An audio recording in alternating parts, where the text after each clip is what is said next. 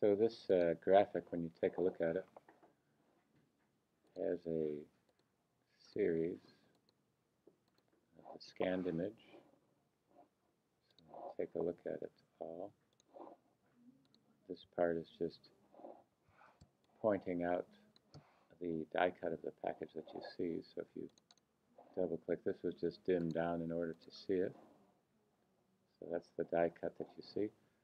Any of the colors would come across, but the section here for the scoring line for all the tabs that are at an angle, you can see a little bit of the color from the bleed.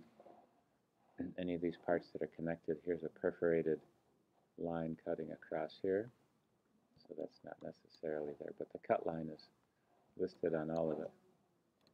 So if you go ahead and uh, dim and lock that down, that gives you a little bit of a selection to work from. And then the typography comes through. So one way to start it out is to use the shapes, in this case building all these, just different colors to make it a little bit easier to isolate and see.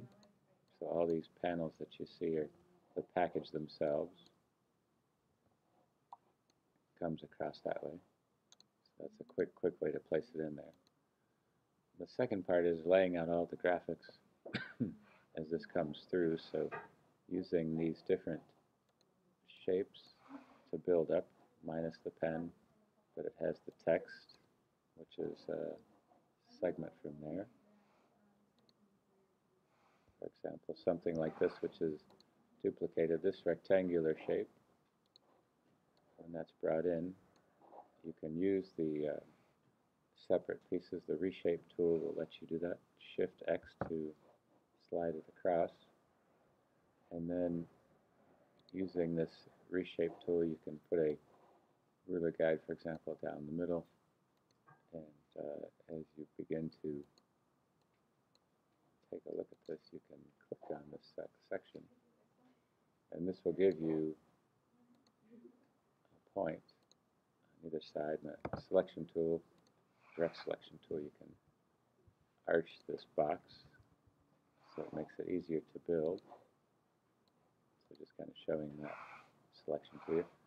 All of this type that's here, for example, the registration mark is just when you select and uh, just hit Option R will give you the registration mark. Option G will give you the copyright. Just go ahead and change this a little bit so you can see it. For that, and the trademark is option 2. So that'll give you those three keystrokes for it. Okay. And the fine liner itself, if it's it's not the exact type, but it does have these uh, items together. The selection that has these uh, bullet points, just remember a bullet point, I just put in bullet in front of it, just going with option 8 and that'll give you a circular one. That's also called a glyph. So the glyph is just the item in front. So here's the particular type style of glyphs found in type under here. So here's the glyphs, here's the panel, and you'll notice that it has a couple of stamps. So depending on where you select the cursor, all you do is double click the uh, icon or image that you want. So it doesn't matter what it happens to be. And you can get this from just about any of the fonts that have it. And once it's highlighted you can take that piece. You can then go to the character panel and uh, take the point size for example and reduce it down you also have the option to the baseline shift to create that but that'll give you that selection for it. And then in order to set the tabs up for here so it'll fit this part, so here you can just increase the type and the point size. So selecting all of this, this is where the point size is listed inside here. So it's 10 point. So if you highlight all this, the only thing that's changed is the bullet size. And that'll give you that selection. But here the tabs come out and you hit the magnet and it'll put it right on top of the text box that you have. And here we just set this part in to align the text right to there and just tabbed everybody over. So that makes it all set up for this one. Something like this has the kerning and the leading, so just going to increase some of the leading. That'll give you plenty of uh, items to take a look at. So that's giving you that selection. So once you have all of it completed, in the uh, layers panel, you want to take this then into uh, Photoshop. So when you take a look, the graphic that you have, ones that you don't need. Um, again, taking some of these pieces down. This particular section. So we'll just take some of the uh, numbers here. 2019 and just kind of zoom into it. So here you have this selection.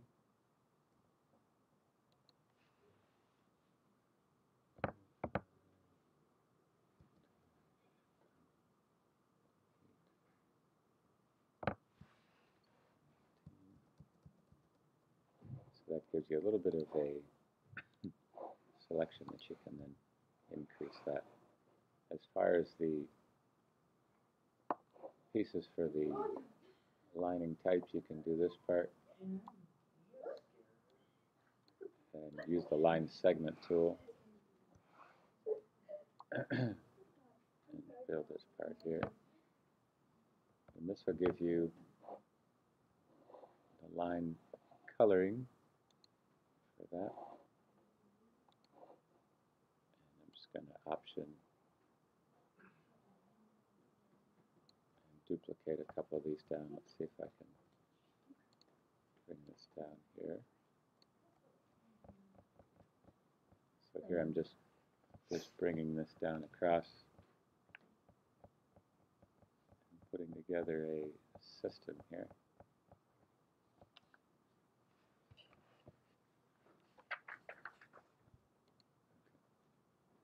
That'll give me a little bit of a selection. And go to the stroke palette. Just increase some of these, decrease some. Take a couple out. And that'll give me a pretty good function here.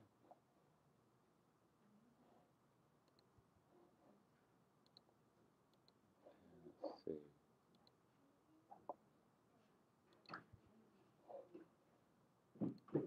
So that's creating then just going to lock these two guys and grab these points with the direct selection tool.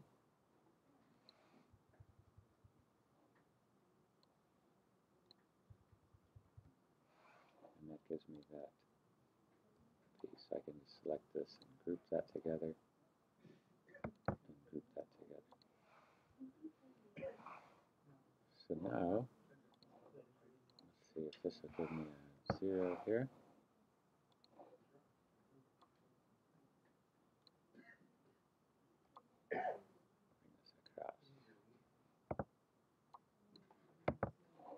Okay.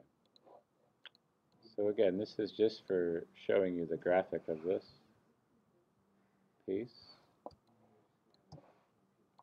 And this will give you